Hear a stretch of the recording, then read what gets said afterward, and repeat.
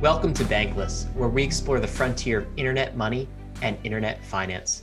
This is how to get started, how to get better, and how to front run the opportunity.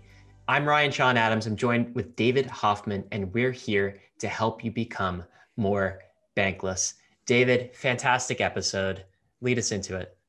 Yeah, we had uh, Nick and Richard from One Confirmation, which is a venture firm in the crypto space. And they are particularly dancing the line of playing with fundamentals, which is something that this crypto industry is particularly well suited to communicate because this is a very transparent industry, but then also playing with narratives, the story, right? And this is not something new to crypto. Stories are very, very important, especially in young, uh, young firms, young um, uh, startups, being able to spin a story is extremely important to attracting investments.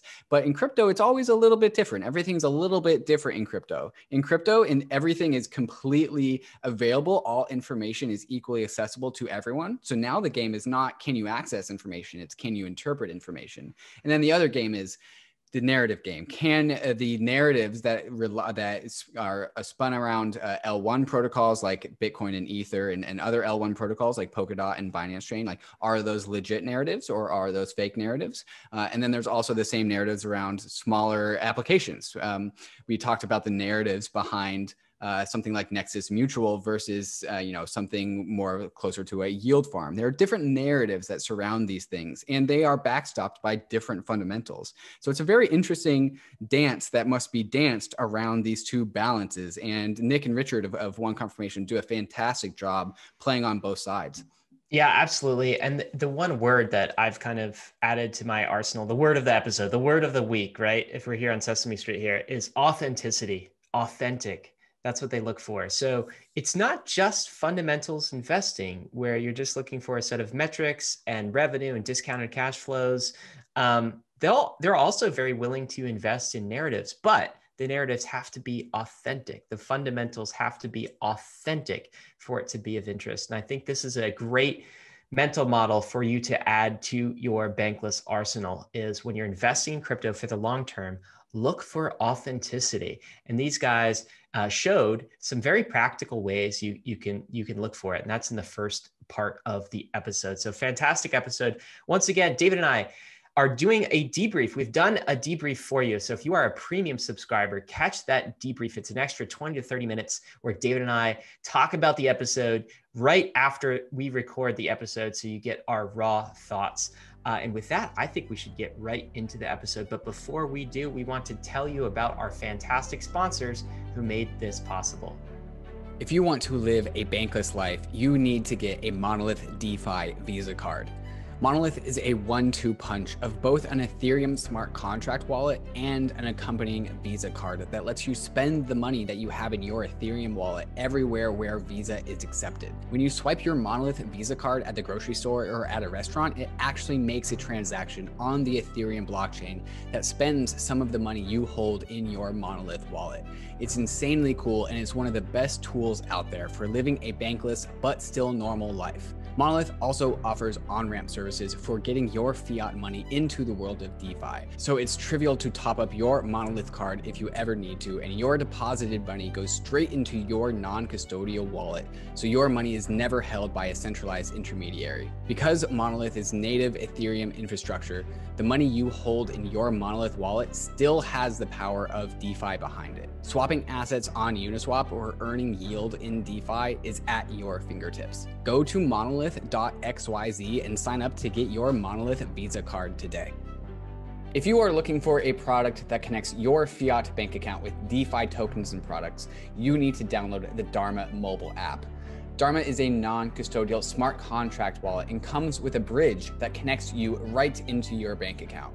Dharma is the fastest and most efficient wallet between your fiat in your bank account and any token on Uniswap, or even any vault in Yearn. With Dharma, you can get over $25,000 per week into the DeFi universe, and you can do it non custodially. If you or anyone you know is hot on DeFi and you're trying to get your money into a DeFi investment, Dharma is the place to go. Signing up and going through KYC is an absolute breeze. It took me just under three minutes, and after signing into my bank account via Plaid, I am now just one transaction away from any token that Uniswap has to offer. Go to www.dharma.io. That's D H A R M A.io. Download the Dharma app and get yourself unbanked today.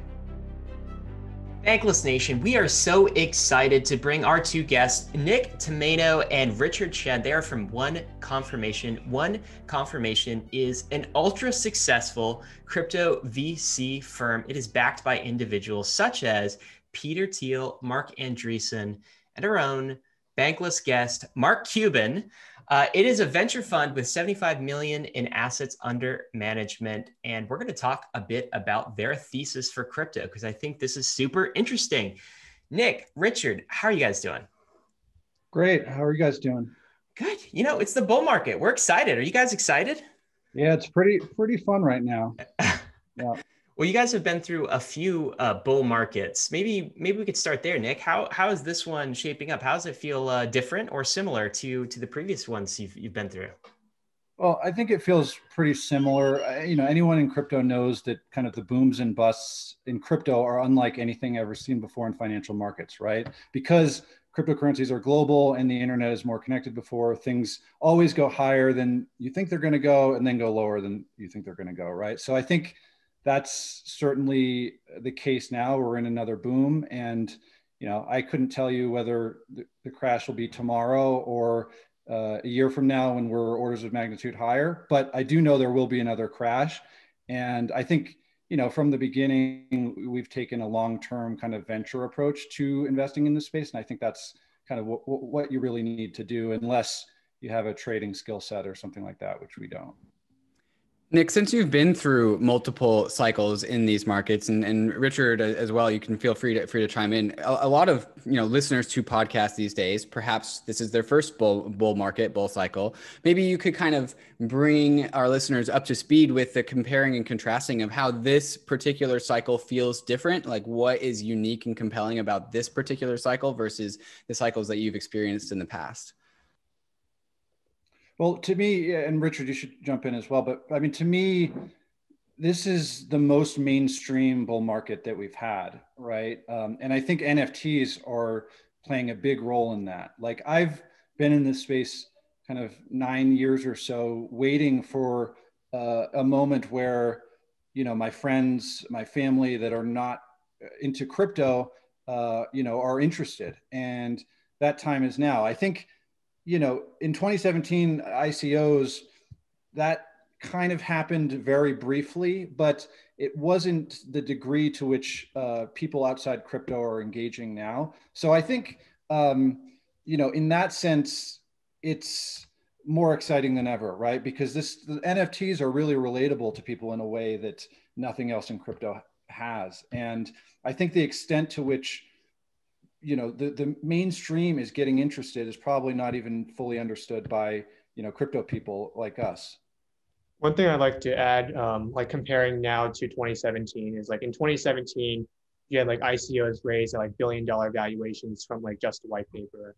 Um, but this time around like when you look at the billion dollar valuations of defi projects like there's actual like cash flow uh, fees that these protocols are generating. Like you can maybe make the argument that the valuations, uh, like the PE ratios, are overvalued relative to like how many fees, how much fees they're generating. But at least there's an actual product for people to use, unlike in 2017 where it was just ideas. It's interesting, Richard. Just a quick follow up on that. Um, you mentioned kind of uh, PE ratios or price to sales ratios in, in crypto, and, and DeFi is actually generating cash flows, which is amazing. None of that was present in, in 2017. Uh, and, and you said you, you could argue that um, maybe maybe the valuations are, are still a little bit too high, although we've seen massive growth in in DeFi that maybe some would argue would justify this. But we also, when we look to the stock market and we look at PE ratios in the stock market, those are those are like at all time highs too. Well, maybe not like all time highs throughout the course of all human history, but uh, it, it, it's looking pretty frothy on the stock market side of things too. So in that context, um, what do you think about DeFi? Is it is it fairly valued? Uh, I think it's just kind of a consequence of like the global macro environment where we're in like zero interest rates, uh, which just pushes up asset prices. So like you know the tech sector, um, like blue chip tech companies uh, like Netflix are like a couple hundred PE ratio, um, and you know people just uh, get into more and more risky assets like crypto, DeFi.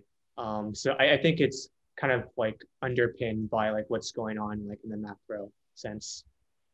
So Nick and Richard, we're going to get to NFTs in a little bit, and I I really like what you were saying, Nick, about NFTs being sort of the the mainstreaming event. We had we had ICOs maybe in 2017, but NFTs are really, uh, they almost exist outside of crypto circles, right? Like we're uncovering whole communities we never knew existed. They don't know we exist, and they're diving down the crypto rabbit hole through NFTs. This almost seems to be the way, from, from our conversation with with Mark Cuban uh, a week or two ago, that that he sort of got super interested in in crypto and fell down the the DeFi rabbit hole. But um, want to talk about this first because I think this sets the context for the rest of the conversation. So, what would you guys say, Nick? Is maybe we'll start with you. It's kind of the the underlying thesis for one confirmation. When when you look at this space uh, throughout the years, whether it was a you know in 20, 2013 or with the 2017 cycle or or now currently, is there one underlying thesis for how this space will evolve? How do you guys invest? Yeah, I mean, I think our, our, thesis is very simple, which is we like to back authentic founders that are building products for the crypto community. And they're products that kind of we understand as users, right? Um, I first got in the space, I was one of the first couple hundred users of Coinbase and just really liked the product and uh, hustled my way into you know working at Coinbase, right? Um, because I was excited about it from a user perspective. And that's kind of how we guide all our investments, right? It's products that we understand from a crypto native perspective, led by authentic founders. And those two pieces, uh, you know, are, are pretty simple, you know, when you say them. But um, you know, I think it takes discipline to to execute on that thesis uh, in a, in a space where there's so much noise, so many different narratives and things like that. But I think as a guiding kind of principle to investing, it's it's helped us uh, it's it's helped us perform pretty well. We talk about this this term authenticity for for a minute? So especially in a bull market there's a lot of noise right? There's a lot of like copycats. There's a lot of things that that seem authentic but but maybe aren't. Uh, how do you determine what's authentic and what's not? Yeah i mean part of i mean the main thing is talking to the founders right? Um, i think one thing i notice from outside investors looking in and things like that is because like bitcoin is uh, you know was founded by Satoshi. Satoshi. Satoshi disappeared, and now it's just this kind of thing that exists with n- no real leadership. People assume that every cryptocurrency is like that, but the reality is that Bitcoin is the only cryptocurrency like that, right? And every other cryptocurrency uh, is led by a founding team, and that founding team is the most important uh, aspect of the project, right? So I think that the first thing you can do when kind of uh, gauging authenticity is uh, talk to the founding team, uh, you know, assess the, the, the, founding team and their uh, engagement with the community, uh, you know, things like that, right? And and of course, and you, you guys uh, like Ethereum a lot, we do too. And I think if you think about authenticity, you know, Ethereum is the, the most authentic project in the space, led by Vitalik and you know a really strong community. So we kind of that's what kind of got us really excited about Ethereum. Um, and it, it's what gets ex- us excited about every single project that, that we're investing in. Richard, do you want to add anything to that? Yeah, I think another um, good mental model is like assume that like cryptocurrency prices were going to crash like 90% tomorrow. Like, would this founder still be around like building this project? And I think for a lot of people, the answer is no, because uh, they kind of FOMOed in and like see the cash grab and like want a piece of it. Um, but you know, just from talking from the to the founder, you can kind of gauge what their uh, incentives and motivations are. And Richard, that starts to dive into a topic that I want to just unpack a, a lot more, um, because the word authentic or authenticity, you know, we all know what that means. But really, if you if you go down to the the basement level of it, it's a subjective term, Um, so how do you guys define authenticity and and what are signals of authenticity to you? Nick, you talked about, you know, if or if the, or Richard, if you talked about if the if the prices collapse, would they still be here? That's a great signal. What other signals do you guys look for uh, when you guys and try and vet founders for their authenticity? I think community building is is a big part of it, right? So how are they engaging with the outside world? I think, you know, the way you build a, a, a cryptocurrency uh, based project is different than how you build a company. Um, and, you know, I think an authentic founder is, is kind of sharing his ideas um, and engaging with the community in a way that uh, shows kind of genuine uh, interest um, rather than shilling a narrative, right? So a lot of this, at the end of the day, I don't think it's it's a science. It's more an art in terms of uh, kind of feel and evaluating uh, people and, and, and projects, but um, you can certainly you know talk to the founder and get a feel for how they think about the world and and also you know what their historical context is on the space right? I think that's a big one for us. Like particularly in 2017 like when we launched the fund the, the last boom you know you saw a lot of silicon valley uh, you know entrepreneurs leaving google and facebook to to you know start crypto products right? Uh, companies. And most, we, you know, we sat down and had conversations with a lot of those, but most of them didn't have deep historical context on the crypto space.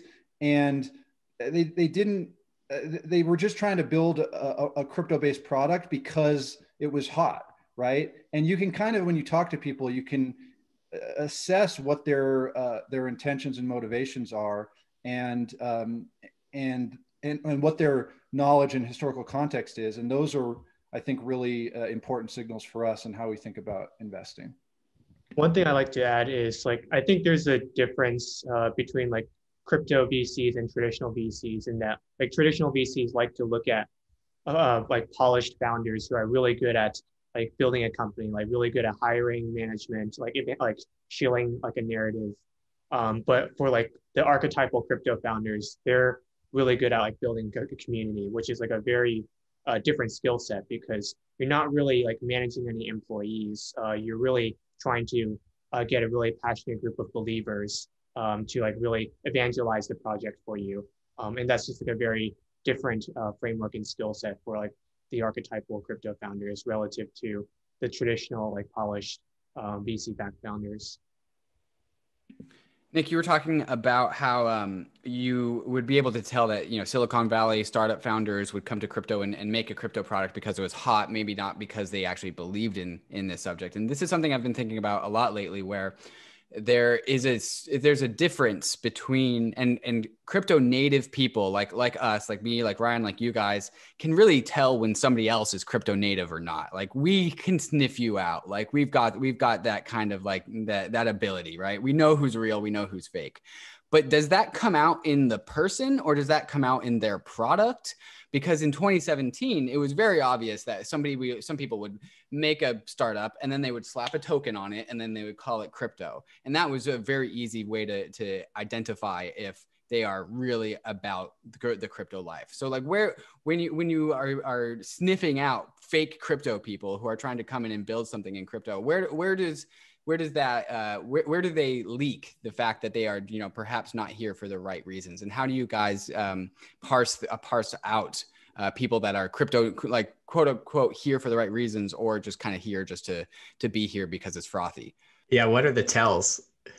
Well i think uh, you know historical context is, is probably to me one of the biggest ones right? Like if you're building a stable coin um, but you don't know about you know all of the past attempts at stablecoins, for example, um, in, depth, then that's a tell that you're doing stablecoins because it's a hot thing rather than because you understand it deeply and um, you know and, and, can figure it out. So I think um, that you know just it, it's not rocket science, but talking to founders and you know you kind of have to have deep historical context yourself to uh, you know to do that and it's not I, I, think it's not easy for for everyone but um but yeah it's the main thing is talking to founders right um but you know you, you could you know if someone's like actual crypto user, right? Like if you're building a DeFi product, but you're not actually using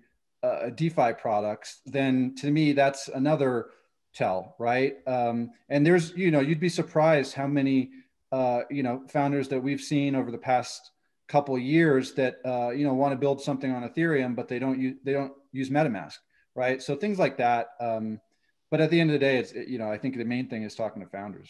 You know what blows me away too, Nick, is it, it's not just uh, it, founders who aren't actually using DeFi; it's investors too. Mm-hmm. You know, sometimes investors with large assets under management, like yep. millions of dollars, I'm talking about, who are investing in this space, practically blind. Like they're doing the narrative investing because they haven't actually plugged in and, and started using DeFi. This is part of the reason David and I started Bankless. Is is just because like if you actually use DeFi, so if you're listening to this, guys, and you're actually using DeFi products and tools like on an everyday basis, on a weekly basis, you have an edge because many investors, I don't know if you guys would say most, but I would say a lot that I've seen don't even go to, to that extent. They don't use a concerning amount. Yeah, a yeah. concerning amount. And they're just throwing money at this space without actually understanding how it works. And if you don't use the products, how in the world do you understand how it works? Richard, you want to say something about that? Yeah, I mean, I think that's right. Um, and I think another advantage for us is uh, because we're so crypto native and like early users of a lot of these projects, um, like a good source of deal flow actually is just to you know live in these discords of like new projects that are up and coming, um, and like kind of check out the early community, like beta test the project. You can like also message the founder on Discord, Telegram. Um, so like you really get a feel for like where like the latest like up and coming trends in DeFi, um, like what those are like. Yeah, living in the Discord is really like basically that's that's living in the community, right? Because these communities are are completely digital, and that's the work that that you have to put in in order to do this. Um, can we talk about something else too? Because I feel like David and I had a a bear market crypto founders series. We did this back in like um, September, I think, David, right? And we brought on like Stani from Aave, we brought on Kane from Synthetix, we brought on Hugh from Nexus Mutual. And these are all DeFi protocol founders who started in like 2017, 2016, 17.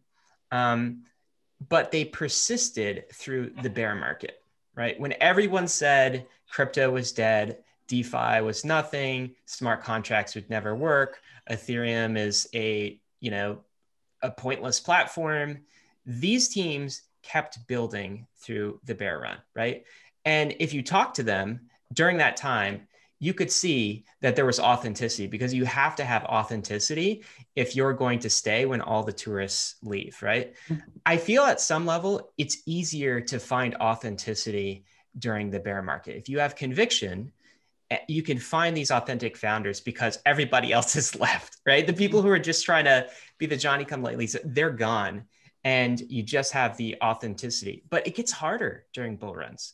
It yeah. gets so much noisier. So is your strategy to is it, is it better to just deploy capital during the the bear runs and find the on, authenticity that way or can you still find that authenticity during the the bull runs and what advice would you give around that yeah, well, that it's a really good point, and, and, and, we think a lot about this. I mean, even dating before DeFi, right? Um, you know, like when I was started at Coinbase in in 2013, um, you know, six months or so after I joined, uh, there was a Bitcoin boom, right? And we saw a ton of companies get funded that were Coinbase competitors.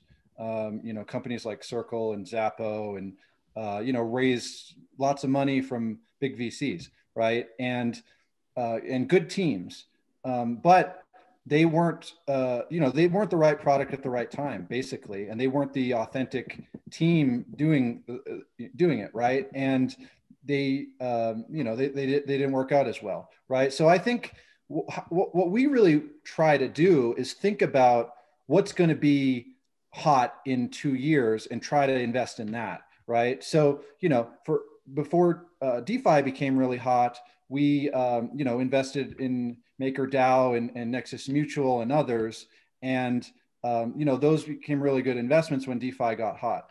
And you know, we didn't plow into DeFi in DeFi summer, right? Now that that um, you know could have been a mistake, and it certainly it could look like a mistake in the short run because things are higher now even than they were, right? But for us as a smaller fund, like that's the discipline that that we like to approach things with, where um, you know we invested in OpenSea in 2018 and uh, and SuperRare last year and now NFTs are incredibly hot, right? Those are the authentic teams that were doing it before the thing was hot. And so I think that's really where we want to be investing, right? Is like where uh, people, what's going to be really hot in uh, a year or two. And and think about like you know what are the products that we get excited about that aren't hot right? It's easy to be excited about products when everyone thinks it's it's it's hot and, and, and that's the case with nfts right now right? But you kind of um, need to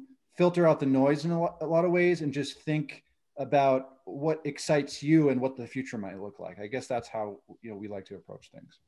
So so guys when we talk about authenticity um, can you give us some examples right? So so nick you said ethereum was an example um, david and i listed some bear market founder projects that we feel like are probably examples. I, yeah, I'm wondering if you would agree. But can you compare and contrast, uh, like DeFi protocols or or projects in this space that are clearly authentic versus some that aren't? We want you to name some names here if you're willing to do that. um, okay. Well, look, I'll give an example that you guys. I'm curious how you think of of this one, but um, because I know you know you you like ethereum a lot right? And there's a lot of uh, you know next gen uh, you know layer one smart contract platforms right? That's obviously been a huge narrative the past uh, four years and you know eos and uh, different projects like that uh, captured you know billions of dollars in uh, market cap uh, from just a narrative right? Basically. And so there's certainly a lot of those types of, of, of projects. But uh, uh, you know, there's a few that we think are are authentic and that actually could have legs, right? And it's not to say we think they could displace uh, Ethereum, but we think that they're led by you know real founders that uh, have kind of new ideas that are pushing the space forward, right? And you know, one of those would be Polkadot, right? So Polkadot, uh, you know, Gav Wood, um, you know, he was one of the founders of, of uh, Ethereum, right? And wrote a lot of the initial code. And he has some ideas in terms of radical on-chain governance that um, that are, are, kind of new and pushing the space forward in different ways. Um, and again, you know, we, we love Ethereum, and it's not to say that uh, you know Polkadot is going to completely displace Ethereum. We don't we don't think that, but we think that that's an authentic project that is actually doing some interesting things to push the space forward, led by you know a, a team. And if you want to name some names of you know projects that are uh, you know kind of trying to do that but aren't really authentic you know you know you could talk about some of the vc chains like uh, near protocol and uh, I, I don't even richard probably knows yeah Dfinity is a big one I, yeah, I don't would you say Dfinity is, is inauthentic is that what you're saying uh, in, inauthentic yeah why would you say that uh, I mean, it, they're they're taking a very uh, Silicon Valley approach where you like make it closed source. You hire like a world class research team and like pay them a lot of money, um, and you just kind of go heads down, build a product, kind of in stealth mode, uh, without giving like any consideration to building a community around your project. And like, like if they ever launch, first of all, um, but like assume that they launch. Um, like the question is like, how are they going to build a developer community if they've just been like heads down in stealth mode for so long without kind of evangelizing the platform and getting organic community of developers like what Vitalik and Ethereum have been doing. Yeah, I think it's a really. I, I would just add, I, I wouldn't, I wouldn't rule out Dfinity. I mean, at some point, you know, this Silicon Valley approach of just heads down and launch something, and it, you know, it, and it works, uh, could happen. It hasn't happened to, to date. It doesn't mean it's not going to happen. I think you know the Dfinity team is a uh, you know is a real team, um, and so to me, it's not one of I wouldn't bucket it as kind of uh, you know one of the worst uh, offenders of just a narrative based thing. But I, I, I generally agree um, that it is, you know, the, the, the, the, they haven't taken the community approach that you need to uh, in crypto. And, and, there's something I want to parse apart here, and it's really, I think, what is going to be the through line for this whole entire episode is like the the dichotomy between uh, authenticity, which I think we could also talk about um, soul in that, and and I'll get in, I'll parse that apart as well. And then the other side of things is, is data and just like raw facts, and which is something that we're definitely going to get into later in the in this podcast, and something we haven't gotten to yet. And but to go back to what you guys were talking about about Polkadot, and I would say, and, and I think I can speak for Ryan here as well, is like the reason why we don't talk about Polkadot very much is because it doesn't have full blocks, among other reasons.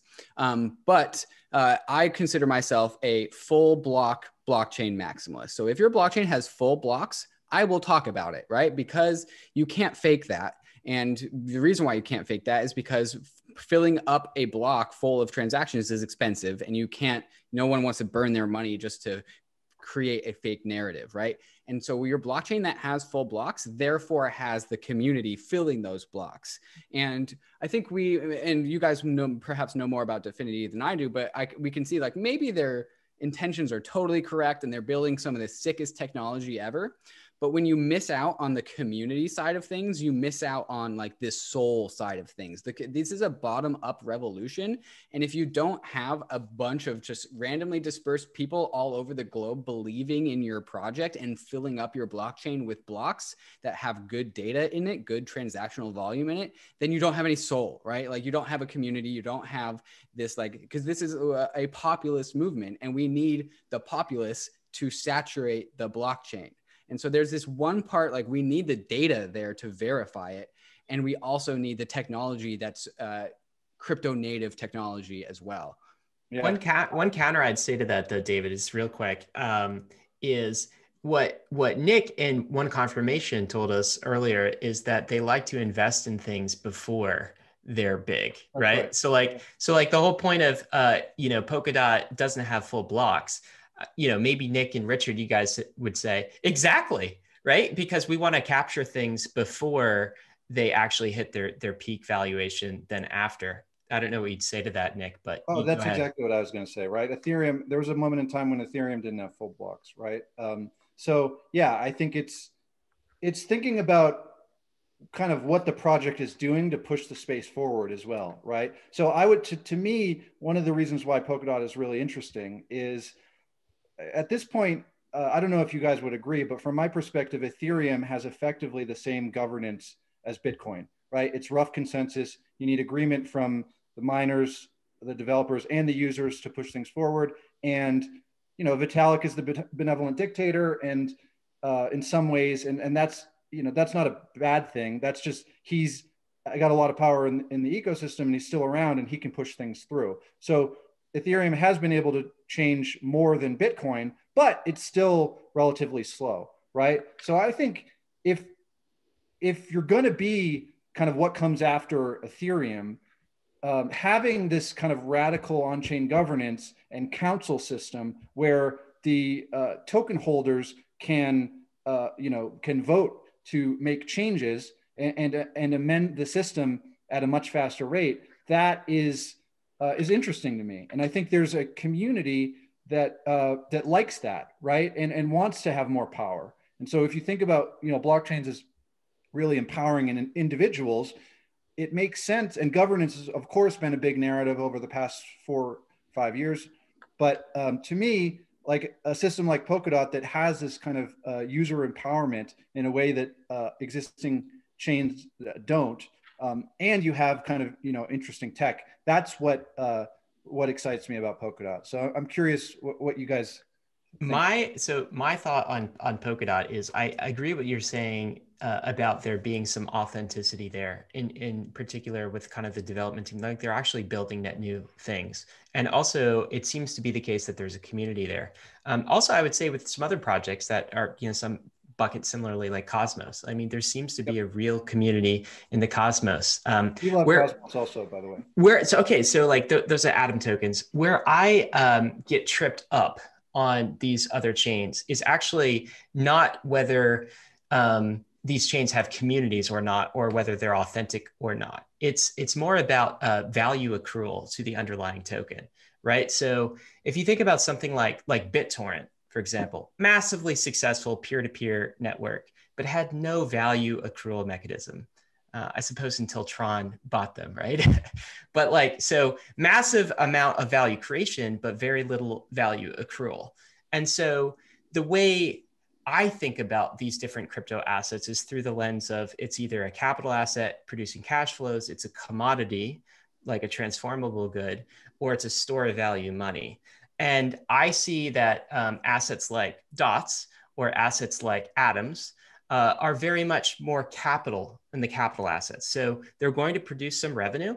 They can also be commodities because you know they go to pay for block space.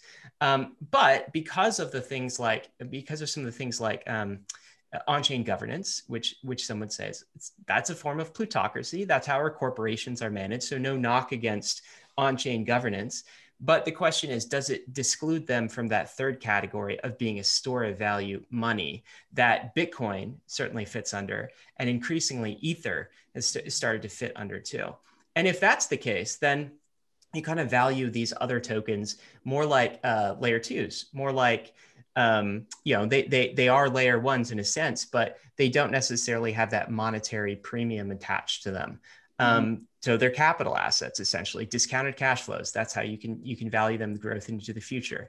That's where I get tripped up around uh, some of these other chains, and then I see the valuations of them and the valuations of some of these things. Again, with empty blocks right now, you know, um, it the valuations are almost as if they're, they're pricing in some sort of long-term monetary premium uh, as a as a percentage of Bitcoin or percentage of ETH. And so that's my big question actually with these other chains. It's less do they have real communities? It's more how does the value accrual of the underlying uh, token work out, and are they going to be long term crypto collateral monies or not? Maybe you guys uh, don't think about it in that way, but I'd be curious. No, I do. I mean, I, yeah, no, I think it's a good point. I think look, it remains to be seen how these assets are going to be valued in the long run, right? And there's lots of people that have created their own models to, to, to do that. And, um, and yeah, I mean, the, the, kind of store value versus capital uh, asset framing, I think is an interesting one.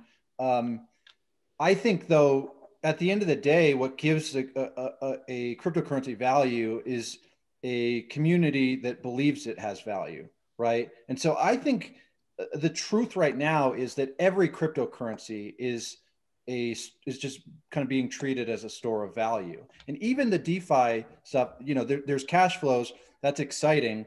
Um, but nothing in defi is really being valued like that right now right? It's just it's being val everything is just a, a, a meme an idea that a community believes uh, you know the thing has value. And I don't think, uh, look, the, what we know about memes is that most of them are fleeting, right? And I think you need to have some kind of fundamental framing uh, for why it has value over the long term, why people are going to continue to believe it has value.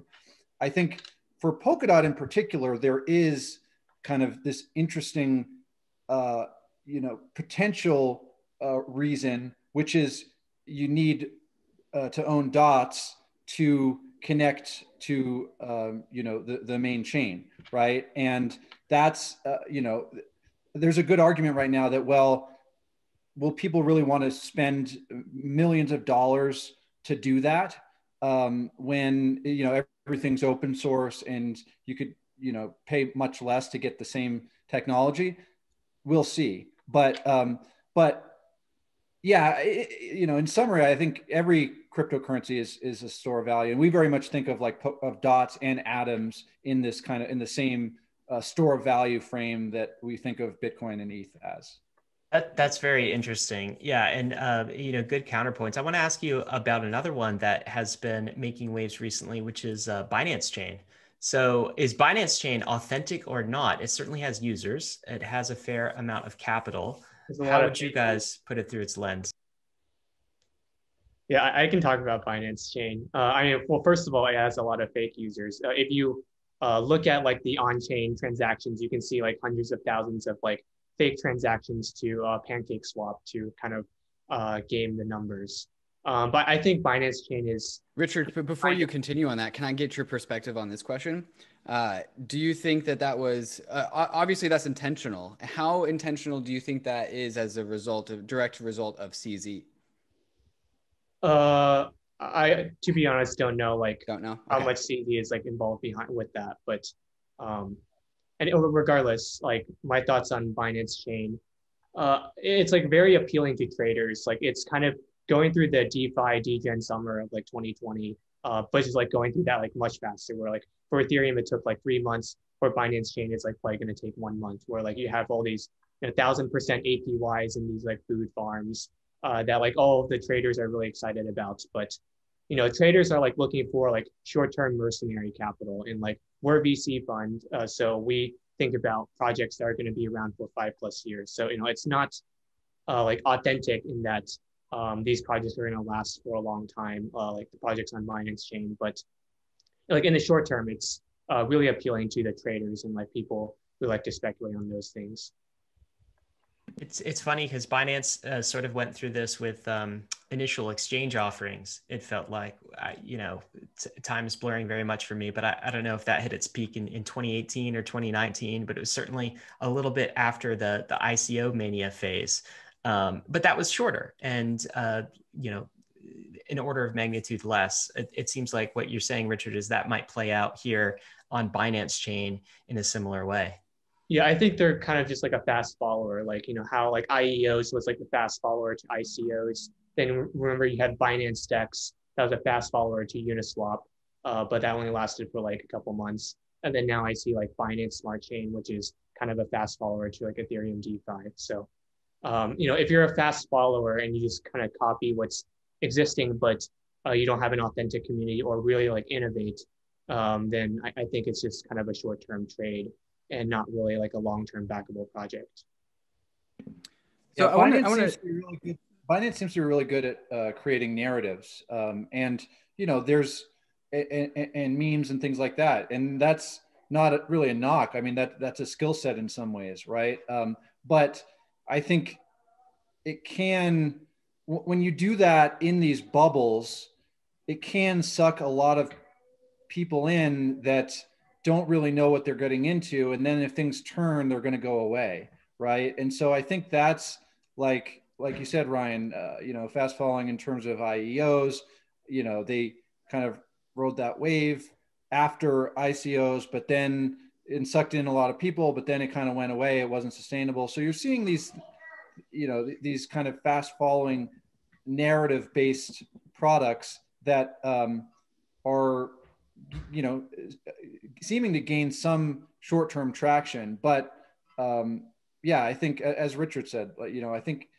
it, it pays to think about the long term and and if uh, something is sustainable or not. And the thing about crypto the thing that kind of truthfully just rubs me the wrong way about Binance is they are very much uh, aggressively marketing and and capturing a lot of new people. And that um, you know I, I, I tend to look at I, we think about signaling and counter signaling right? And when you ha- see someone kind of signaling so much and so aggressive about marketing that can in the long term uh, actually indicate weakness right? And so that's what i love about vitalik right? Like if you look at vitalik vitalik's tweeted maybe three times in the past uh, you know, since 2021 started in, in, this bull market, right? And he's, um, you know, he's not signaling. The, the counter signal, I think, is actually what you want to what you want to identify, right? So. And the tweets so, he's made were just like links to some like esoteric ETH research. Uh, like mm. I remember he made one for the Chinese New Year, which was interesting. so we're circling around the subject of, of narratives versus uh, authenticity, narratives versus what's real. Uh, and uh, earlier we made the comments about how you know a lot of people just invest based off narratives, and perhaps that's not the best thing because you need the data to back that up. Um, and I, I want to throw a counter argument in there as well and play, play devil's advocate. A lot of um, Ethereum people will, uh, perhaps ETH maxis, will criticize Bitcoin for just being like this meme coin. Um, yet, I and yet I also believe at the same time Bitcoin's meme is one of the strongest in crypto. But I would say, and I would argue that Bitcoin's meme comes from the fundamentals, the data that backs up Bitcoin, right? Like if Bitcoin is just a meme coin, then go ahead and roll back the chain. Well, you can't because it's Bitcoin, right? You can't confiscate anyone's Bitcoin. You can't change the hard cap. There are all of these very real things about Bitcoin, and because of that, because that data is there, in my my mental model is the data is there, and the memes sit on top of the data. And when you poke at the memes and you question the memes, the memes can can cite the data that's there. And there's other projects that are just memes and they actually aren't sitting on top of anything right? And so there's this relationship between memes and data narratives and data. And, and some projects just spin up narratives and perhaps that's what uh, Binance Smart Chain is doing. They're just like, oh, we're going to kill Ethereum. Meanwhile, there's the state bloat of Binance Smart Chain is putting on like 50 gigabytes every single week, right? And the, the implications of 50 gigabytes a week of state bloat is not something that the typical uh, individual might be able to understand in their first foray into crypto. Um, and so uh, this is kind of where I want to turn it to the conversation of how you guys at 1confirmation play with the uh, the the play the juxtaposition between data and narrative. And Richard, I know you I know you really like to use this thing called Dune Analytics, which is a data analytics platform for Ethereum. So so maybe we can get that conversation started. How do you guys um, invest based off narrative and also ba- invest based off of data? And how do you guys balance these two things? Yeah, look, we have institutional investors, right? And when we raised the first fund, a lot of them would ask like how do you how are you making uh, decisions in, in terms of when to sell for example right? Are you just uh, timing things based on uh, you know what you think when you think something's overbought or technical analysis or things like that? And you know we had to think deeply about uh, you know, analyzing all of our investments from a fundamentals perspective. And so for every investment we make you know we're thinking about uh, asymmetric risk reward, right? We want uh, you know investments that can be 20x if they work, uh, and if they don't work, they could be zero. And then we kind of uh, you know evaluate the fundamentals um, on a quarterly basis. And for every project that we invest in, we have kind of KPIs that we're you know we're looking at. And so you know you mentioned Bitcoin, and I think your your point about Bitcoin uh, it, it was a good one. Um, but what, what we look at for, for all of our store and value investments, right, is how many addresses uh, on chain uh, have over a couple hundred dollars worth of cryptocurrency, right, as a proxy for how many people actually believe in this thing as a store of value. And so, because Nick, they believe in it enough to hold it on exactly, chain. Exactly. So, the, like the, the on chain data, you know, doesn't lie, right? And that's when we look a lot after we you know make our initial investments and bets on teams we're analyzing the on-chain data to see what's real and what's just narrative right? And so if you look at bitcoin for example you know the bitcoin uh, the number of addresses with over a couple hundred dollars worth of bitcoin uh, has increased uh, you know pretty significantly over the past year. And so that's real data that supports that yes this uh, belief of bitcoin as a store of value is growing. Now one of the interesting things uh, about eth and I know you guys are kind of ETH is money, ETH store of value. Um, the, the, the number of addresses with a couple hundred dollars worth of, uh, of ETH is increasing at a faster rate right now, right? So we kind of, we believe that um, ETH is becoming kind of this store of value for the people and Bitcoin is becoming this store of value for institutions, right? So we like looking at data like that get, you know, allows us to kind of assess, uh, you know, our conviction and you know, our conviction on ETH as a store of value is actually increasing based on this data. Wow. Okay. Store of value for the people versus store of value for the institutions. And what you're saying is this is not just um, meme narrative following. What you're saying is you, you're able to back this through on chain data and real world metrics. Yes. That is super cool. Um, I, am curious before we leave the store of value category, because I think we want to get to some other categories where you're doing this. What else is in the store of value category for you besides Bitcoin and Ether?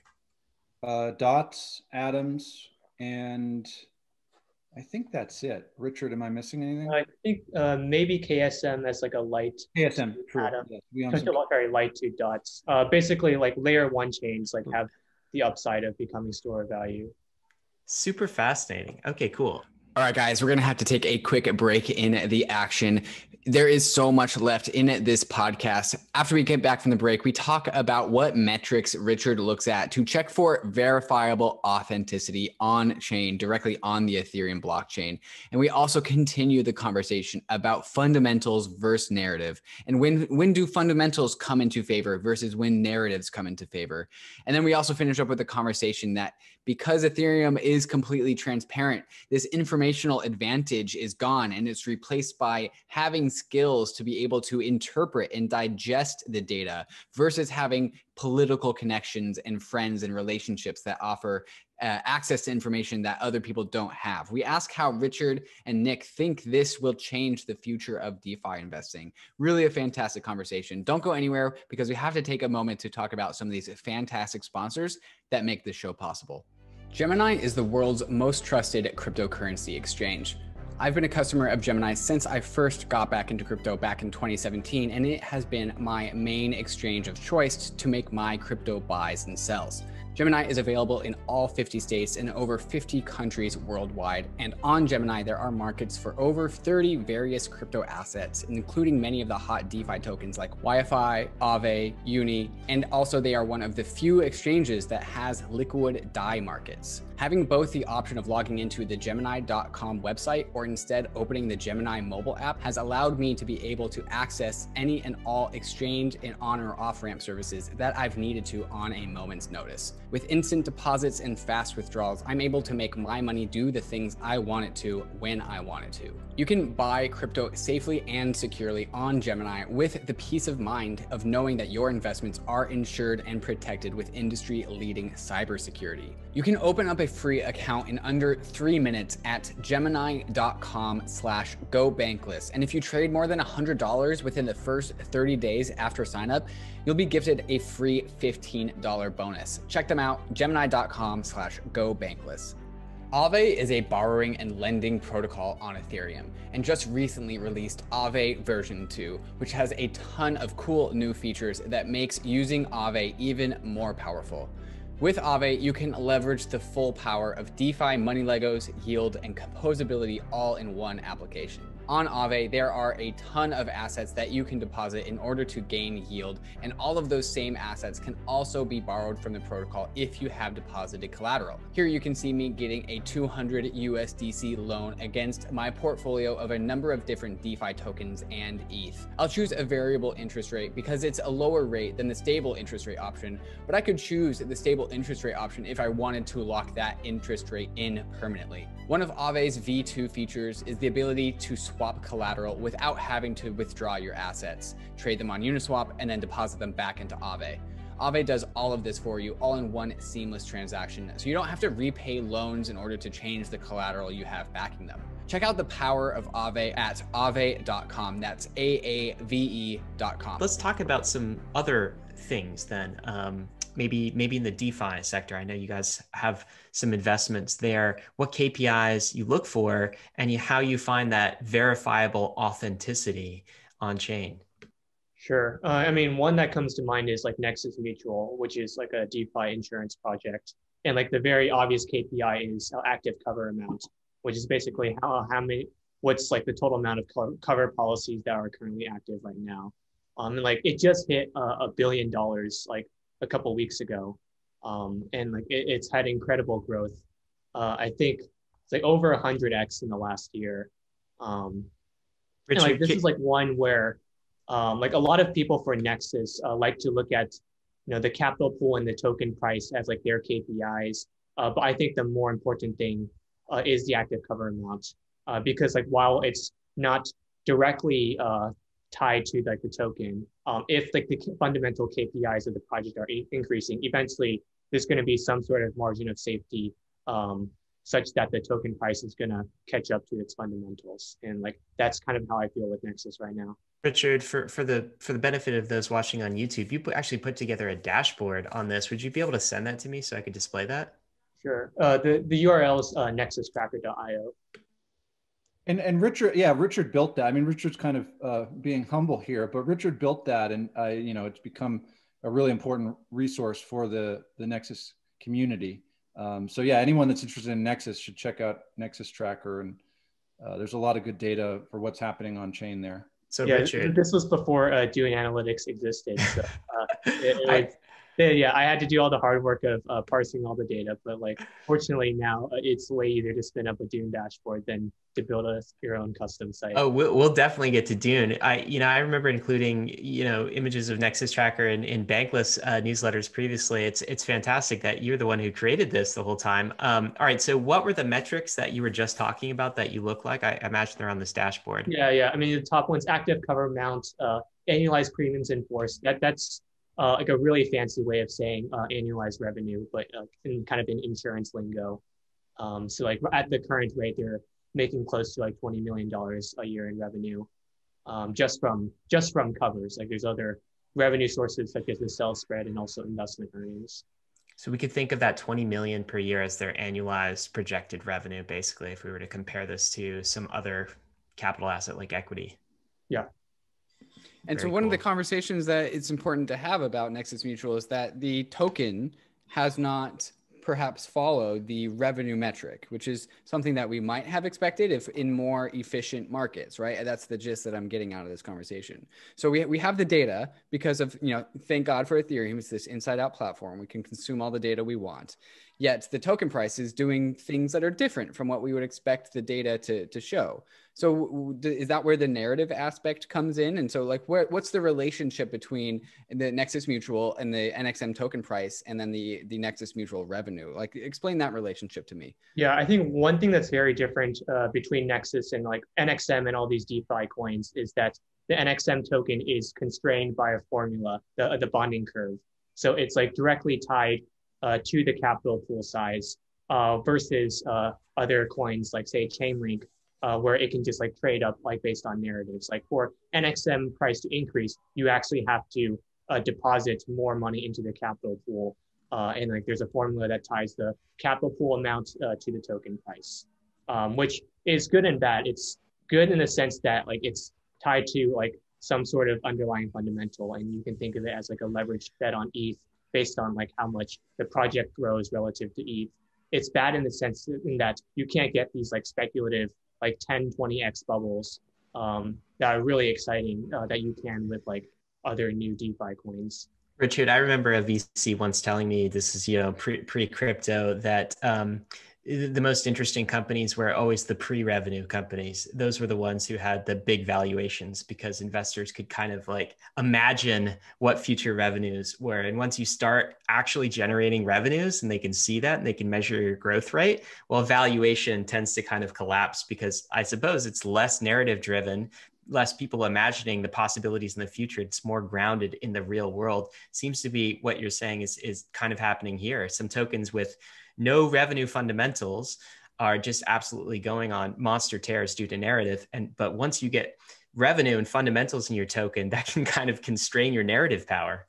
Mm-hmm. Yeah, that's correct. Um, I also like to say that like for Nexus, like for a brief period of time, um, the NXM token, the WNXM token, which is like a wrapped version of Nexus that's freely tradable on exchanges, it was trading below book value, uh, which like is like as like honestly, I don't think that's ever happened before in like any DeFi project. So like basically what that means is um, the the the amount of ETH in the capital pool is worth more than uh, the total market cap of NXM. So basically, if all of the NXM token holders decided tomorrow that we're just going to return money back to um, token holders, uh, you would end up having more ETH than what you paid to buy that token. Um, and like that's just that was just an incredible like undervalue uh, asset that a lot of uh, smart investors, like fundamental focus investors, uh, decided uh, to buy. Like that was a good time to buy NXM. That's absolutely crazy. Because to me, that tells me that the power of the narrative side of investment can just dwarf this side of fundamentals based investment. And it, that kind of tells me that the ratio between narratives to fundamentals in this space is like 90 10 or something some something cra- some crazy juxtaposition like that where like the, the narrative is actually so how do you guys think that this uh, skews investments when the returns on investments is theoretically so much narrative based rather than fundamentals based how does that skew capital allocation in, in this industry? I, I think that's short term though right? Like our, our bet we're, we're making long term five to ten year bets and our view is that yeah narratives work in the short term but when it's just narrative uh, the narrative runs out and and then there's nothing right? So you know we, we want to be investing in i think narrative is important. It's not, i'm not dismissing it. We want to be investing in projects that have good narratives but underlying fundamentals as well right? So i think what you don't want to be doing is investing in just narratives um, because there's some people that you know there's a lot of ways to make money so that i'm not saying that people you can't do well by this but i just it's not the game we're playing. We're playing kind of long term uh, investing in strong fundamentals also backed by good narratives right? I think you really need both to uh, you know to to have 20x kind of uh, upside potential in the long run which is what what we're doing. But i, I like because these are public i think it's it's a lot it, what i always say is like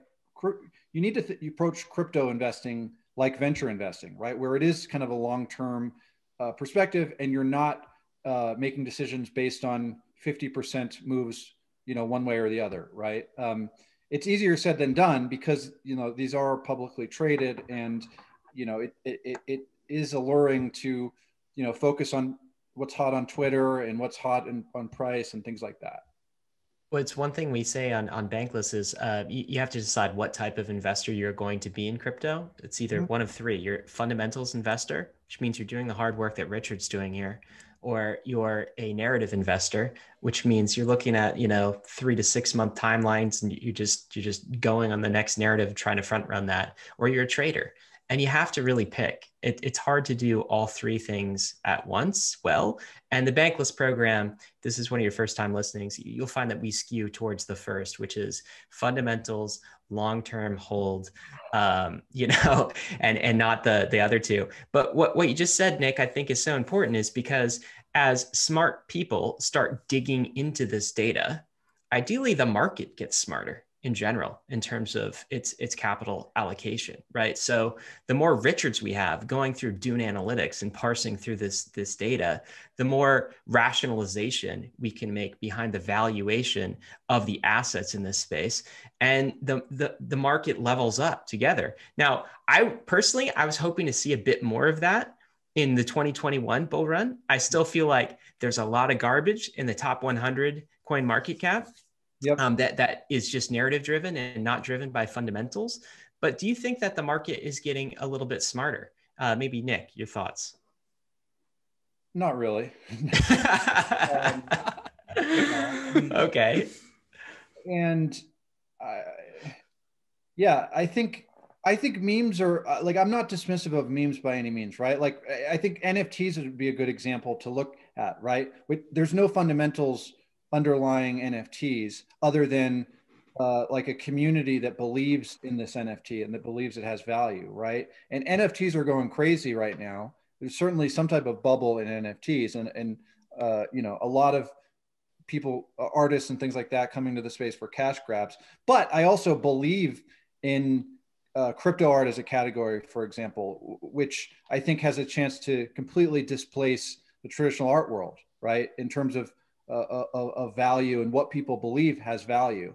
There's not uh, fundamentals there really. It's just kind of belief. And so i'm i think fundamentals are great. We definitely want to invest in like products that have good fundamentals but i'm also not dismissive of memes. I think um, and i think nfts particular are kind of uh, revealing truth about the crypto space in general that maybe a lot of people don't want to recognize, which is that it, you know a, there is memes are a big part of of everything that's happening, and I don't think that's going to change. Richard, you want to add anything? Yeah, I think that's right. Um, I think that, like related to NFTs, uh, there's also like some fundamentals that you can look at is like kind of you know trading volume. Uh, so like maybe like the assets themselves are memes, but like you can invest in like the picks and shovels, the infrastructure that's like powering like the NFT economy, and like that's uh, was was the impetus for investing in OpenSea in 2018 and SuperRare in 2020. Um, SuperRare was like actually a really interesting case study. Uh, so like we made the investment like around DeFi summer when DeFi was like really hot, but like NFTs was still like largely under radar and like a lot of DeFi maximalists like dismissed uh, NFTs. But if you look at the Dune Analytics dashboards, um, the like the monthly volume for NFTs was growing about 55% uh, month over month. And like at that time, like the absolute numbers were still like very small. So like you know 55% month over month growth, like growth didn't seem like a lot. Uh, but you know if you do the math with uh, compound interest, like eventually that gets get that gets to like an extremely large absolute number. And like as you can see here in the graph, um, like in February it just like completely exploded. So uh, that that's like a good source of alpha for like finding like these underrated gems uh, that are going to explode in a few months. I do want to get your guys' opinions on the cyclicality of this whole narrative versus data debate. Where my gut take is that in bull markets, things are primarily narrative, and in bear markets, data and fundamentals take over. Uh, and Ryan earlier uh, mentioned our D, our bear market DeFi founder series, where we uh, interviewed Kain from Synthetix, Stani from Aave, uh, and there are and the in bear markets, those projects weren't narratives because there was no narrative in the bear market. Things were dead. There was mm-hmm. only fundamentals. There was only reality. So, how do you guys think that uh, uh, on these market cycles, how do you think the cycles of, of narratives versus uh, fundamentals follow the, the market cycle? Can you guys explain that relationship? Well, I think in terms of narrative, like I, I think dismissing like narrative based coins completely is uh, is wrong, right? Like, I think what you want to invest in is narratives that more people are going to believe over time, right? And so, Bitcoin, as an example, is a narrative, is an authentic narrative that it, you know, increase just more and more people are believing, and that's what allows it to capture value. So we certainly are investing in narratives that we believe are just going to grow over time. Um, I think having certainly having fundamentals that underlie it in some way is important, um, and that's a good indication of kind of uh, you know a narrative that's going to last over time if the if the fundamentals uh, you know exist through kind of bull markets and bear markets. But um, but yeah, I think you know fundamentals are certainly good but we're like we're not saying that we're just investing in in fundamentals at all. I think i think narrative is and and, and the meme is an important a critical uh, component of, of, of any cryptocurrency. It's interesting because it's kind of almost a, a semantic thing right? Because um, what you're saying is that narratives can have fundamentals and that narratives can be authentic and you can see that authenticity like on chain in all sorts of various ways. So it's not not that you're not investing in narratives, but you're investing in narratives with some fundamentals behind them. it's, yeah, but, but, but, let's use the example of, of Beeple, right? I don't. Are yeah. you guys have you guys seen? Yeah, for sure. Artwork and and how it's going crazy in value right now. Yes. And would you say there's any fundamentals underlying that?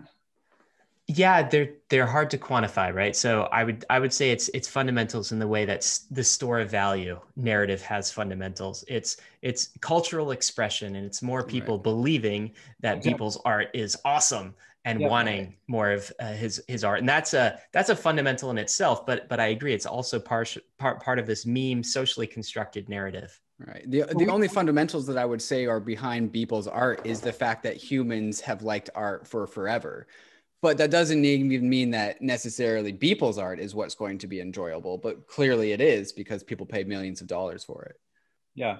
So we, I mean, we bought a, a Beeple piece uh, for the fund, um, and so you know, people listening might say, "Well, you guys are talking about fundamentals, but like, what's the fundamentals of a, a, a Beeple artwork, right?" And it kind of that I think that solidifies kind of my point that I think uh, a a narrative, a meme, is could be a good investment if that meme just grows and grows over time, right? And so, like buying a Beeple is a bet on the artist, right? We think that Beeple is a really compelling artist, that um, engages with the community incredibly well uh, online as well. And there's a chance that you know Beeple is uh, our generation's Warhol or something like that, right? And the belief in this kind of crypto native, digital native artist just grows over time, right? And so that's just an example of this uh, a meme based investment that we you know that we think uh, has a lot of upside. I think that's a great articulation of it because I, I do think that the the traditional finance world um, draws things too narratively when they when they use terms like fundamentals. They mean that the thing must have cash flows associated with it, and you must be able to do a discounted cash flow analysis and analyze it in the way you analyze a stock, right? Um, and so they they draw you know, far too narrow of a like framing around things that can be valuable. And you're saying look things can be valuable and have fundamentals outside of of cash flows right? It's just belief. I, what i've been saying is like look there's this in, there's an institutional narrative that was created for how you value something. But i think what we're seeing in 2021 is like the people on the internet are saying fuck this like we we're, we're investing in what we believe has value right and i think gamestop is obviously a stock market example of that, but it's also happening in, in crypto and in NFTs. So um, it, it's it's just belief. All right. Well, let, us talk. This is such a good conversation. It's so many good points here. Um, Richard, I want to come back to another point that we we kind of touched on a little bit, and that is this, um, you know, Dune Analytics dashboard that you put together. And this is just an example. So um, you, you were talking about monthly crypto art volume and being able to see all of this on chain. I think the macro picture here is um, what you're doing. It appears to me is like like the type of work they do on Wall Street for stocks, where they're combing through quarterly earnings reports, basically, and coming up with projections and trying to to to project out the future of these things.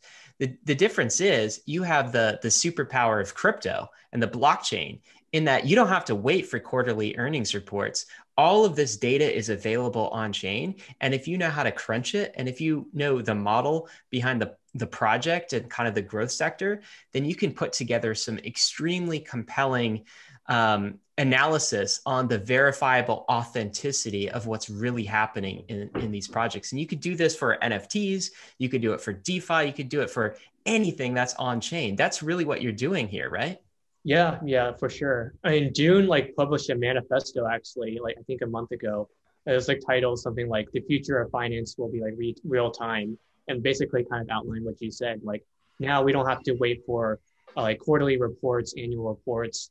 Um, we don't have to worry that like some Enron's going to happen where like they kind of they cook the books and like fudge the numbers uh, because like the blockchain doesn't lie. You can uh, get all this data on chain uh, in real time um, and like you know it's like authentic um, and it, it's a it's a really good source of alpha like for like new projects that launch and like you know aren't big enough uh, to like really have like like any like semblance of like quarterly reports uh, but you can like look at their numbers and see if they're growing like 50% month over month uh, then it's like something worth looking at something worth talking to the founder maybe even investing Richard, why do you publish this open source? Uh, I'm curious. You know, in traditional financial, a, a, lot of these funds will will take this information, keep it secret, so they keep the alpha internally. Why do you guys just publish it on Dune?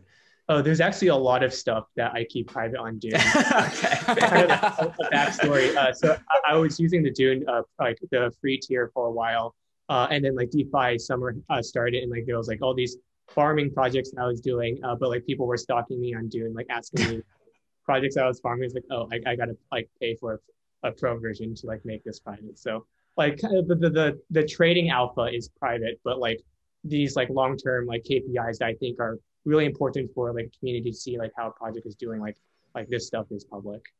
Yeah. So all our fund investments, right, are, are obviously long-term investments. We're, um, you know, the largest investor in SuperRare, and um, you know, we want people to recognize that SuperRare is uh, is killing this market right now, right? And I think the uh, an interesting thing too about the on chain is that in you know in in Silicon Valley when founders raise money too, it's often all about narrative, right? It's about a founder that can get in a room uh, with VCs and pitch a big vision, and uh, there are a lot of bullshit founders like that in Silicon Valley, right? I think Richard mentioned earlier we we kind of we like investing in founders that may not pitch great, you know, in a room in Silicon Valley, right? But are building something uh, very uh, useful. And um, and I think the Dune boards kind of help separate that. And still, like a lot of like most investors, uh, I don't think are are, are looking at these. Um, but that's you know that's important for us to to uh, both you know evaluate new projects, but also well, you know, for our investments, we want people to recognize that, like, look, this, uh, you know, SuperRare is the dominant player in the crypto art market, despite, uh, you know, a narrative from, you know, certain people that might suggest otherwise, right?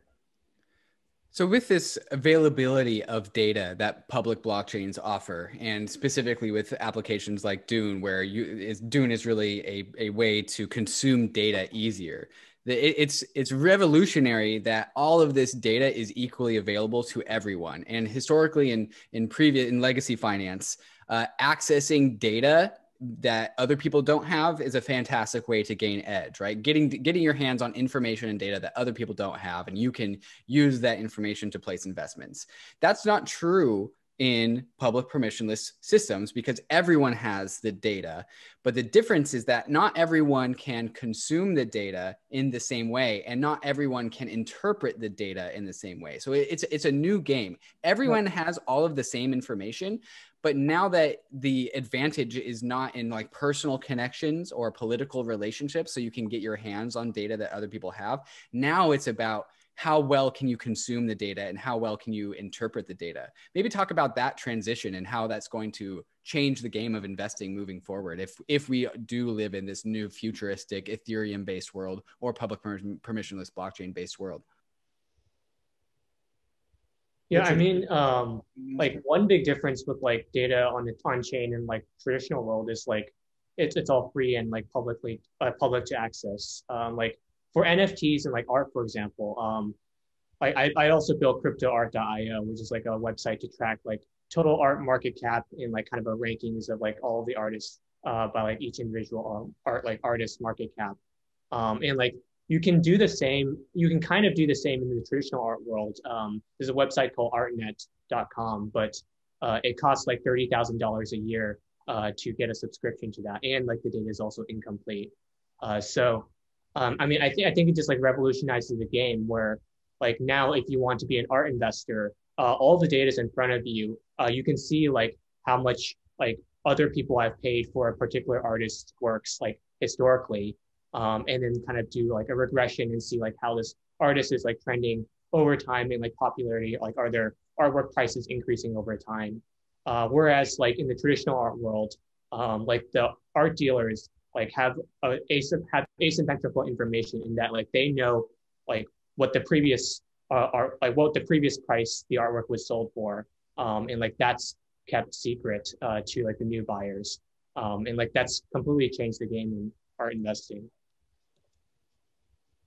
For sure. Yeah tra- i mean to me transparency is one of the core features of blockchains right? And the fact that anyone can see this uh, data about artwork um, is really powerful. And you don't have to be a rich person who can afford paying a couple hundred dollars a month uh, for ArtNet or, or whatever. You could just anyone can go to crypto art and see see what's happening, right? So that's that's one of the core features of blockchains that we really, uh, Richard in particular, who's you know fantastic at data, we want to uh, take it, bring that to light more, and and and allow more people to recognize that. I think I'm falling in love with this uh, this ETH boy portrait of Vitalik. He looks like uh, what's it? Vitalik takes the role of Picasso's son. it's amazing.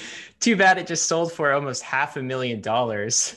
So that might be out of my uh, my price range. But this is this is phenomenal stuff. Um, Richard, you know one thing uh, David and I often talk about on Bankless is the the tremendous um, I guess, white space of opportunities that are available for people who learn this space and learn it early. Like just a rough analogy is it's kind of like learning HTML, you know, right before the internet, right? Um, you're just on the cusp of something. You have skills that are in demand that other people will want.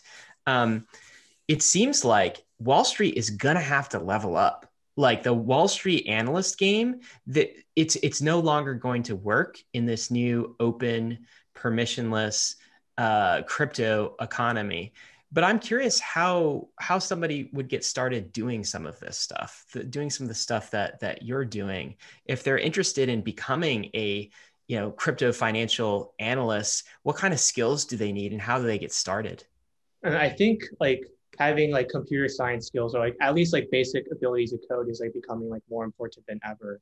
Um, and like for example with Dune, like all of it is in SQL, which I guess you don't need a CS degree to like know how to use SQL. Like there's like plenty of tutorials out there to do that. Whereas you know, like with traditional finance analysts, they're probably just combing through PDFs and like uh, decks uh, to like put together the numbers. Whereas for this, um, if you like just a couple line of code, like can get you like the same amount of information, just like much faster and much easier. Um, I, I also, I also think like, I know understanding solidity and like at least being able to like read and like parse through smart contracts is like really a value under like underrated skill, especially in DeFi. Um, I think you know during like the DeFi summer, uh, where the, there were like all these new projects coming up. Like if you uh, and like a lot of them were unaudited. Like if you knew your way around Solidity and could like at least like do a sanity check or like a DIP check of like the smart contract versus like the Synthetix minter contract that they uh, borrowed from, uh, you can see like what's actually going on in these projects and not just you know invest uh, money into a new project just because like it's a good meme. And to be clear, there's upside in doing this, guys. I think what Richard is saying is um, learn to code. You know learn at least some of the basics but there's some upside in doing this because what you've been saying the whole time is you found treasure this way right? You found treasure with with nexus mutual. You found treasure in nfts before they were a big deal you were able to predict things using this on-chain data um, and front run opportunities that way. Is that right? Yeah yeah that's about it i want to ask you the question of, of what's next of, of what you're seeing now that um, you know will be the kind of the next big thing. Uh, you, you have any thoughts on that? Do you have any, I guess, ideas for us or places to look? Or are you going to keep that alpha internally for uh, one one confirmation? Nick, do you want to answer that? Um, well, I mean, there are some obvious things, right? I think most people recognize the gas fees, right, on Ethereum right now are not viable for most people. And you know, I think there's a narrative that uh, you know Ethereum is becoming a, a DeFi and NFT platform for uh, rich people, and there's you know could be an opportunity either for obviously there's a lot of exciting stuff happening on Ethereum to change that, or for you know other platforms, right? So we're, we're thinking a lot. We're looking at the on-chain data right now. Take super SuperRare. SuperRare NFT NFTs are working really well for these high dollar value, low throughput transactions, right? So super SuperRare, if you want, want to plug uh, SuperRare bot, which Richard also built, which is a really cool uh, Twitter bot. And if you want to see in real time who's buying uh, crypto art and, and, and the artists that are selling it and, and, uh, and, and, monitoring that, I, I enjoy uh, taking a peek in the morning. It's really, uh, it's really just a, a, good way to start the morning. But um, if you see if you look at that, you'll see that there's uh, every tra- every transaction, every uh, purchase is uh, you know five hundred dollars minimum, and then you know hundreds of thousands of dollars maximum, right? So and, and that that makes it works for Ethereum because you know fees are anywhere between twenty and forty dollars right now. Last time I checked, maybe maybe lower today. I'm not sure, but you know looking at that data and looking at you know nfts for example and seeing that it's mostly high dollar value you kind of can recognize that um, you know in the future there's a need for a platform that supports kind of low dollar value high throughput nfts and that's like one example of a big opportunity that we believe in that uh, you know that, that we're not really seeing uh, yet and we're thinking a lot about richard you want to follow up yeah i mean high gas prices are just like pricing out a lot of like uh, new interesting use cases. Uh, like kind of the, the gaming NFT like use case like kind of died uh, because of the high gas prices. Um, so you know I'm optimistic, you know about uh, like layer two stuff.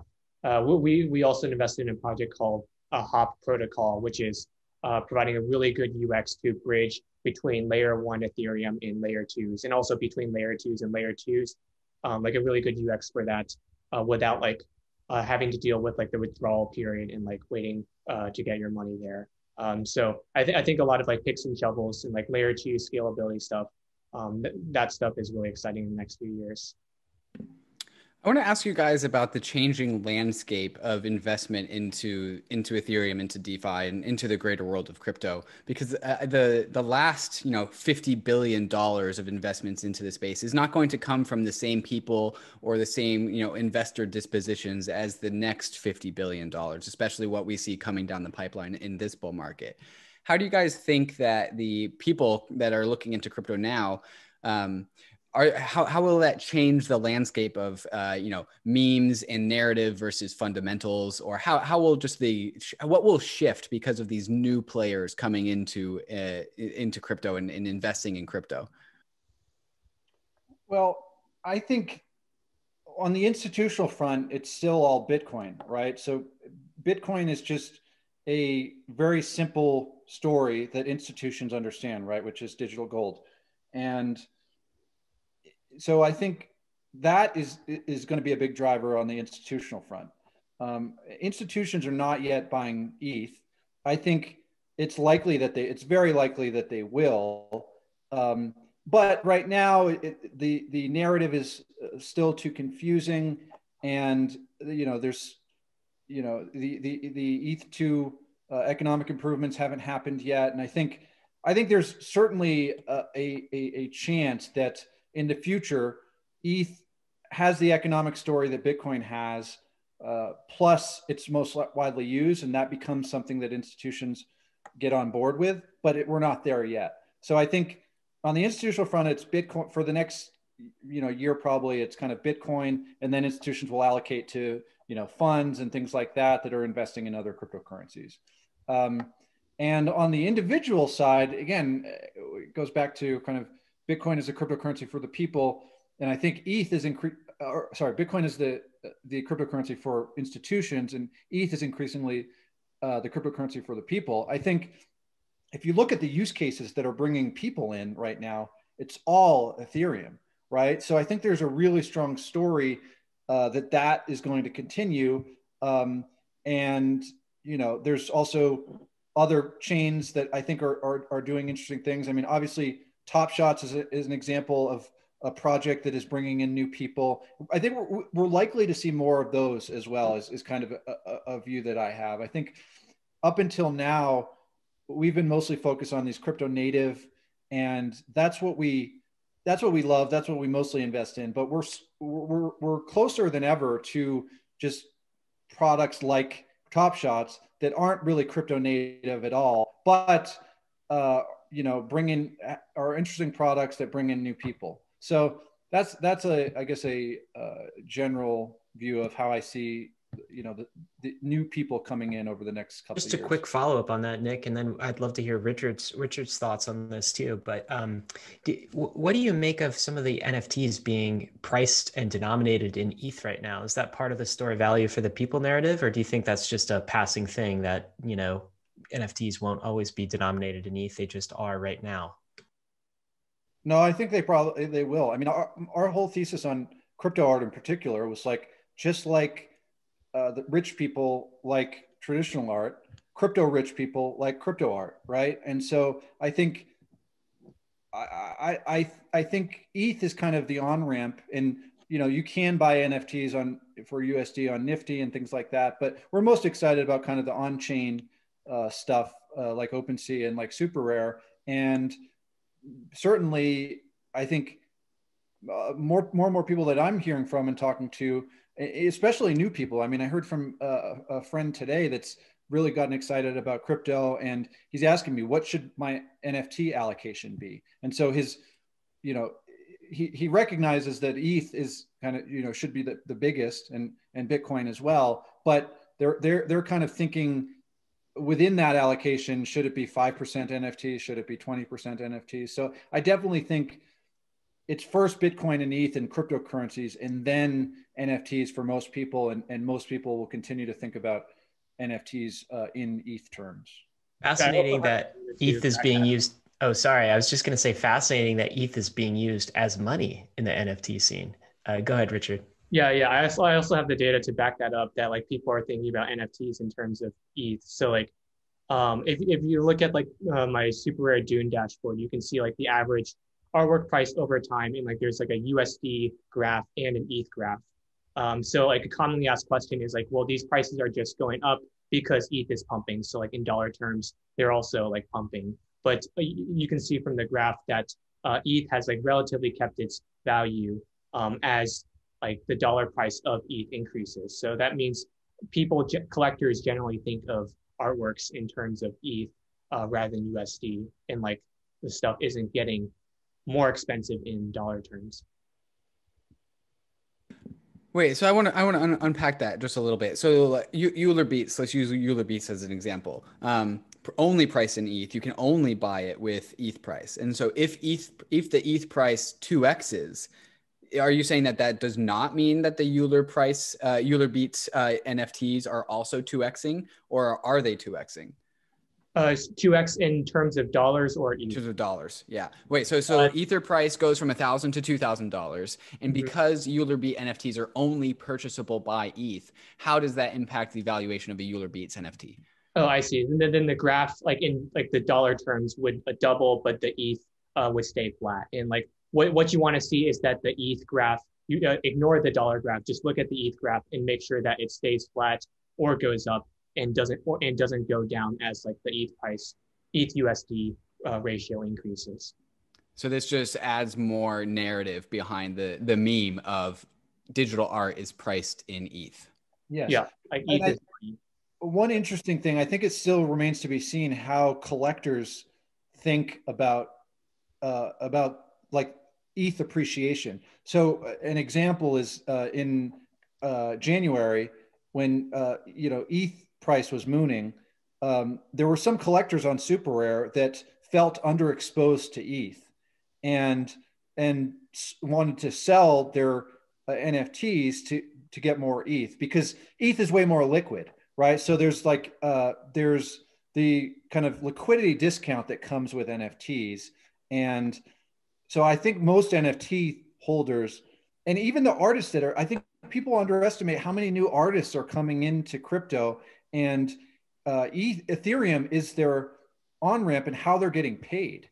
And and they're sure some of them are, are, are going to Coinbase and cashing uh, for, for cashing out for dollars, but a lot of them kind of recognize ETH um, as this kind of valuable store of value and, uh, and and and are holding it. And I think it's a really awesome way to bring in new people to crypto. That's fascinating. That that is such a new development that's come with NFTs, and it's so exciting to see. Um, you know, some people in the crypto sphere have have thought about ETH in money terms, and certainly, like you know, we we talk about bankless denominating your wealth in in units like ETH and Bitcoin. Um, but for art collectors to come from non crypto worlds and start being exposed to that natively, and for artists themselves and creators themselves, that really is new. That does feel like a new on ramp to to the stuff as money. Maybe maybe Richard, um, you know, c- kind of the same question to you of do you think anything's going to be different during this cycle as a result of of all of these new entrants? Any additional thoughts there adding to what Nick said? Uh, I mean, like during this cycle, like we're bridging mainstream like more so than like any other cycle.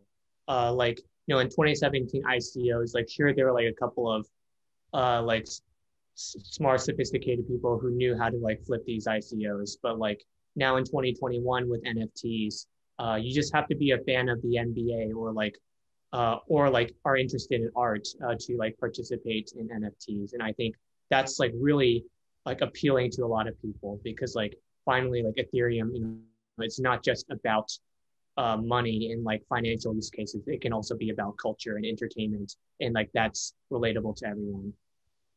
All right, guys. Um, this has been so insightful. I think David and I want to conclude with uh, just getting your sense on some predictions for for this bull run. Um, the first question I have is: Are there any current narratives that you think are going to die by the end of this bull run? I felt like in 2017, one narrative that died uh, a withering death maybe was the ICO narrative and the utility token narrative. Do you think anything, any narratives in vogue right now that that seem really popular will die by the end of this bull cycle? It's a good question. Um, Nothing comes to well, mind. A lot of the thousand percent APYs, uh, that, that's yeah. less so of a narrative, but it's like a short-term trade. Yeah, that's a good point. I mean, the yield farming stuff, I don't think the yield farming is going to die like ICOs, but there's been a lot of, you know, sketchy yield farming opportunities that people have done well on. And it, it, it feels like in some ways that has fizzled out to some degree. Richard, I don't know if you agree. You, you... Uh, it's, it's moved over to Binance. Oh yeah, there's yeah. yield farming on Binance now. I didn't even. Uh, yeah, on, yeah, Binance Smart Chain. Okay. Well, in, in, theory, the yield farming APYs should just like kind of collapse down into just yeah, earning yield on Ethereum, right? Normal, no, ten percent. Like that's still high compared to traditional world, but like that's normal in crypto world. Yeah, one. I mean, one kind of idea here that I'm not sure about. I think I, I don't feel strongly one way or the other, but this idea of governance tokens on Ethereum, um, that's I don't think that's going to die, but it may look different. Like I think the reality is most governance governance token has been like a regulatory arbitrage in some ways, a, way to launch a token uh, without it being a security. And I'm not sure how that's going to play out long term, but most of the governance tokens, there's not real governance happening. Um, and I don't know. I, am I'm, I'm unsure of how that's going to play out. And Nick, many of the governance tokens do not have uh, fee revenue attached to them. They just right. have the possibility of future fee exactly. revenue attached and, to them. And and and value the valuations are implying that that you know the, the fees will be passed to token holders, right? But if you know these if you really believe in kind of governance minimization and like it being really hard to change things, then can that is that actually going to be changed? Uh, I, am not sure. So um, we'll see. I, I, mean, I think obviously I, I, I, like, I mentioned Polkadot earlier. I, I like kind of this idea of, of having councils, um, you know, to make decisions. And it's certainly, um, it's, you, you made the point that, oh, maybe that, that looks exactly like a company. Um, I think it's somewhere in between, right? It's not exactly a company. Users do have some power and, um, but it but it's kind of more centralized and can can uh, create uh, you know faster decision making and, and improvements than you know a uh, rough consensus type governance. So interesting. All right, guys. Any any other predictions for for 2021? Then anything around NFTs, DeFi, how big this cycle is going to get, how long it will last? Yeah, that's what I, think, I want to know. How long do you guys think this cycle is going to go for? I, I look, I don't make uh, you know predictions like that. Um, you know, I, I don't have a good feel. Um, other than I would say, I think NFTs are going to be it's going to continue longer and it's going to be bigger than a lot of people think. And I think the important thing to recognize about NFTs is that they're unregulated investable assets, right? So these are clearly not securities there's a very strong legal argument that that's the case. And I've been waiting since, um, you know, I don't know if you guys, some listeners may remember Etherbots. Etherbots was one of the first uh, Ethereum projects that did a uh, pre-sale of digital goods, and they sold a million dollars worth of, uh, you know, of, of NFTs for some, uh, you know, robot-based game.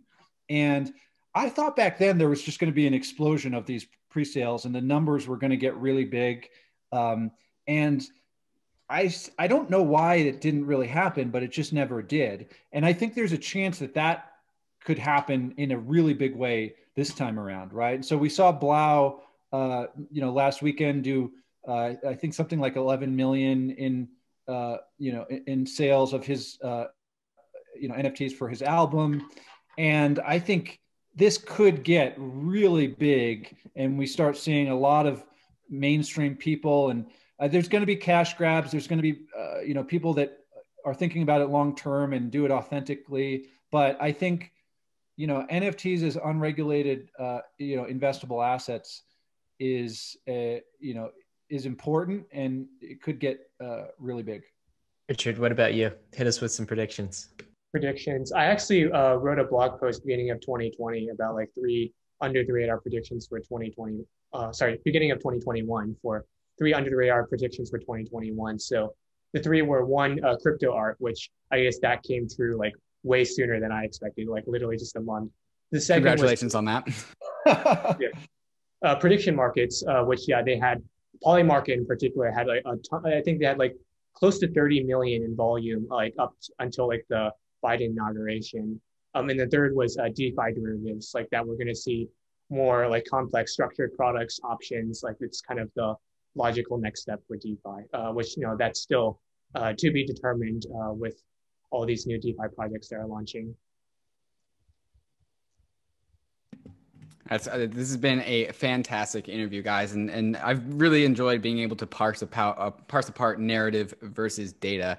I think it's this conversation is, I think, something that the crypto world is really pioneering because I think when you really go down to the bottom level of it, you actually can take this all the way back to legacy financial markets and just all markets ever are always one part data and one part narrative. And I really see you guys as pioneers of dancing this dance inside of this new this new paradigm that is crypto. So thank you for coming on the show and, and sharing us uh, you know what you guys have found out.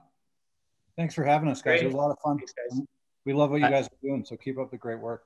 Well, thanks, Nick. We try to keep it authentic on Bankless. And that's one word I hope you take away from this conversation investing in authentic things, whether that's authentic fundamentals or authentic narratives. That was certainly my takeaway. Some action items for you. We've got some hot analytics on DeFi, NFTs, and Dune Analytics. We'll include resources uh, for those in the show notes. You can start looking at these protocols like Richard Chen does. Uh, also, we've included his three underrated predictions article in the show notes that was just referenced near the end. Third thing, David, it's a bull market. We need some bull market five star reviews on iTunes. How are we doing with that? Always want to do better. I we are just under 200 five star reviews, and so if enough listeners of this podcast give us those five star reviews, we might break over 200, uh, and that helps us get Bankless to the tops of the iTunes uh, investing in business charts, which is where we think Bankless belongs. There's a lot of good information coming out of this podcast, at least I think, and if you guys think that more people should hear that, please give us those five star reviews wherever you listen to podcasts. And if you are watching on YouTube, make sure you like and subscribe. Our recent Mark Cuban interview is over 200K views. David, that's our biggest one yet. Really biggest exciting one. about that. Yeah. Mm-hmm. Um, awesome, guys. Well, risks and disclaimers. Of course, the assets we talked about are risky. ETH is risky. Bitcoin is risky. Crypto is risky. You could lose what you put in, but we are headed west. This is the frontier. It's not for everyone, but thanks for joining us on the Bankless program. Hey, we hope you enjoyed the video. If you did, head over to Bankless HQ right now to develop your crypto investing skills and learn how to free yourself from banks and gain your financial independence. We recommend joining our daily newsletter, podcast, and community as a Bankless Premium subscriber to get the most out of your Bankless experience. You'll get access to our market analysis, our alpha leaks, and exclusive content, and even the Bankless token for airdrops, raffles, and unlocks. If you're interested in crypto, the Bankless community is where you want to be. Click the link in the description to become a Bankless Premium subscriber today. Also, don't forget to subscribe to the channel for in depth interviews with industry leaders, Ask Me Anythings, and weekly roll ups where we summarize the week in crypto and other fantastic content. Thanks everyone for watching and being on the journey as we build out the Bankless Nation.